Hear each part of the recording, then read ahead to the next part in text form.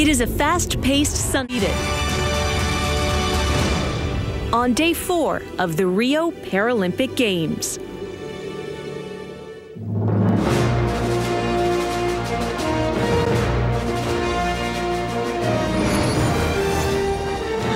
Copacabana Beach in Rio de Janeiro, always bustling with activity, but busier than usual today as the best para triathletes in the world were competing for medals along its shores on day four of the 2016 Paralympic Games. And here inside our Stamford, Connecticut studio, I'm Carolyn Manno. We have got three hours of coverage ahead with several of Team USA's biggest stars headlining, including Jessica Long, who dives into the pool once again. Our triathlon, which made its Paralympic debut earlier today. So the sport includes events for several different classifications. Four are for athletes with physical disabilities, which range in type and severity from double amputees to those with severe neurological conditions such as cerebral palsy. And among those competing, competing was retired U.S. Army officer Melissa Stockwell.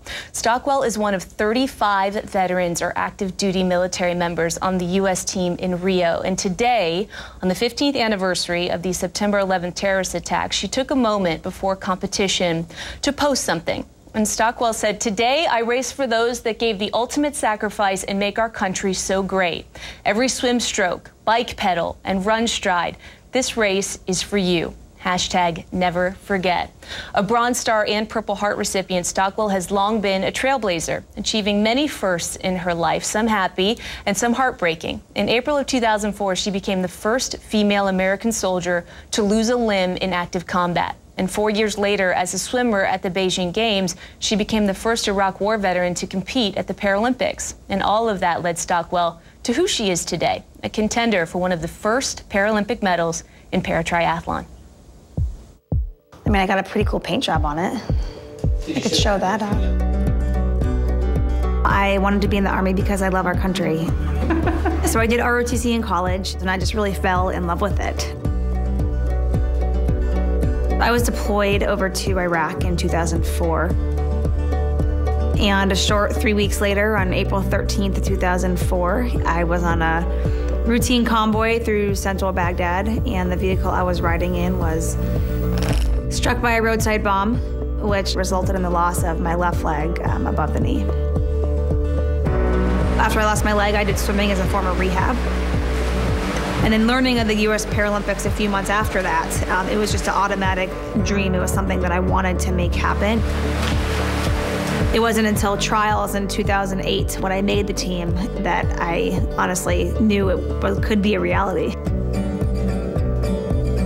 I went to the 2008 Paralympics in Beijing and I swam there.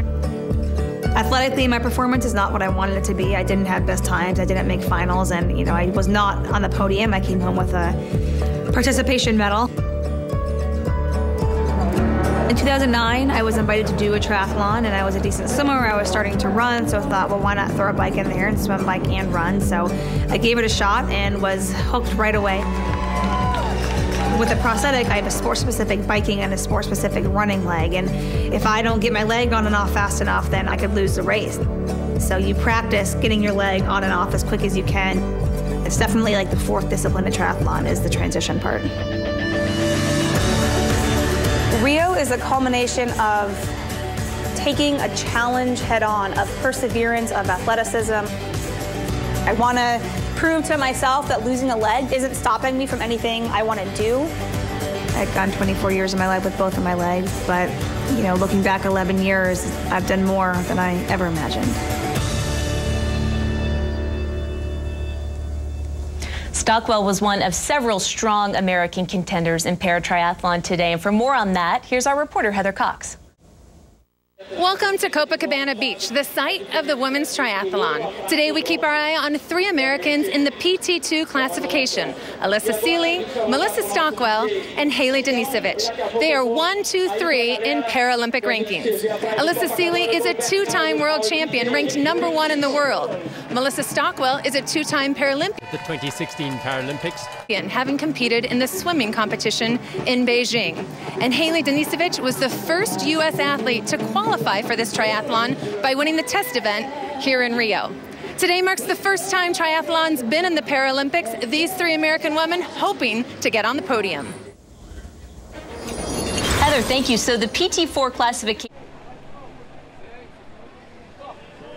The women's PT2 classification got underway with eight entrants from six nations facing the starter. Among them, a trio of medal contenders from the United States, including world champion Allysa Seely.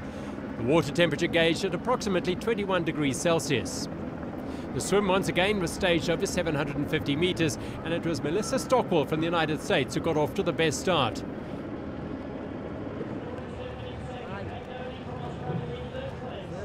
26-year-old 2012 world champion found the conditions to her liking as she clocked 12 minutes and 5 seconds for the swim. Japan's Yukako Hata was second out of the water, 28 seconds behind Stockwell, and Seely was third, just 8 seconds behind Hata.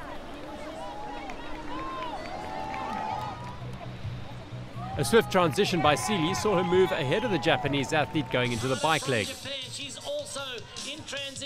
Ripping that wetsuit off. There goes Melissa Stockwell from the USA. Alyssa Sealy is in. Quinta colocação, a Mateu Uriarte da Espanha na sexta e da França.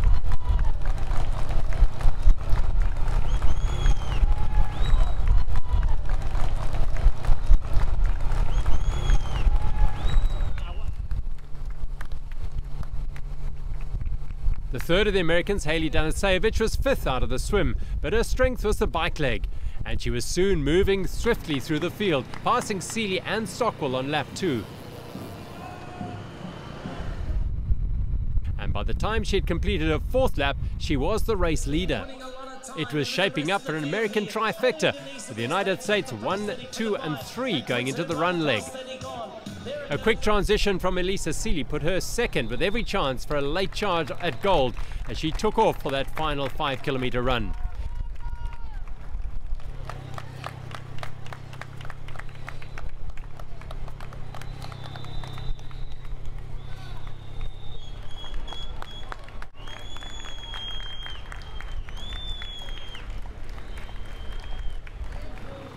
Seely was a woman on a mission, keen to add Paralympic gold to a world title won in Rotterdam earlier this year.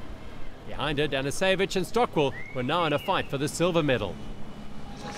For Seely, it was all about gold. She clocked 24 minutes and 13 seconds, a minute and 21 seconds faster than anyone else on the run, for a combined total of 1 hour, 22 minutes and 55 seconds. In second place, Hailey Danisewicz from the United States, and the bronze medal, completing the US domination with Melissa Stockwell in third. US. And Stockwell took bronze, the U.S. dominating the event. A wonderful moment. Heather Cox caught up with the medalist right afterwards. Hey, USA. A clean sweep of the podium for the United States. The Americans sweep the podium, gold, silver, and bronze. Congratulations to all of you. Now, Allysa, you have been on quite an incredible journey, but just how significant is it to know that your name will now forever be in the record books as the one that won gold in the first Paralympic triathlon? Oh my God, it's amazing. It's been a crazy four years of hard work, ups and downs, and to finish at the top, to finish at the top of the podium with our national anthem being played, with my two teammates standing next to me, it's going to be the most amazing feeling I've ever had. And Allysa, you dominated the run. How did you create so much separation in that final leg? Um, I knew coming off the bike that I had a lot of work to do. Um, I'm a runner at heart. It is my strength, it's my soul, and I just put my head down and I gave it everything I had. When it hurt, I pushed harder, and I never, when I passed her, I expected her to stay right with me, and so I just kept pushing. And I'm so, so incredibly excited with how well that went. And now time to recover because you run the 200 tomorrow morning. Now, Hailey, a podium sweep, as we mentioned, for the Americans. How did being surrounded by your teammates fuel you in this race? Oh my gosh, you know, this was by far the most exciting race that I've ever been a part of. Like coming right out of the swim, all three of us were kind of right there, and it stayed that way for the rest of the race. Um, I mean, there's no two other people in the world that I would rather share this journey with than these two right here. Um, and I just can't wait to stand on the podium with them. And Melissa, certainly, you know, a very special day that's so much more about winning a medal. Uh, what does it mean to you to be competing on this day, 9 11, in this event? Um, it's, it's, um, I mean, to be on the race course wearing a USA uniform with my teammates on a day that changed the world and to come across the finish line, my goal was to be on the podium and with these two ladies, and it happened. I mean, dreams come true. Today, this moment is one of the best in my life. I am so, so thrilled. I'm so excited, and just a testament to America, what we have to, what we can do. I mean, we are, we're the top three in the world. Congratulations. Enjoy every second of it. This is for you, America. USA! USA! Gives you chills. A decorated day for the U.S. at Copacabana Beach as the Americans take home a total of four medals in women's paratriathlon. When we return, we're going to have medals on the line in track and field. So stay with us. We're coming back right after this.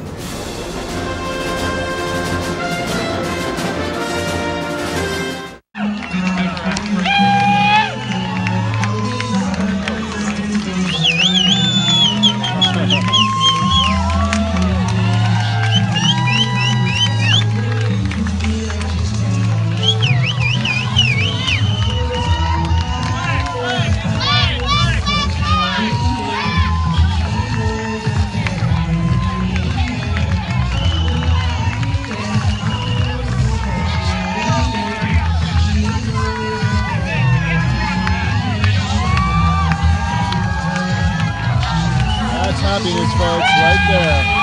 Yeah!